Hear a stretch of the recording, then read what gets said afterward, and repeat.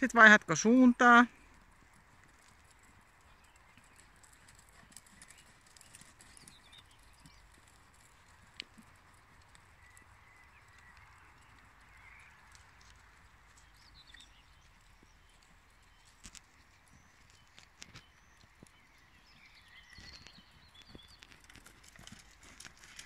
Ja, ja voitko jäädä käyntiin?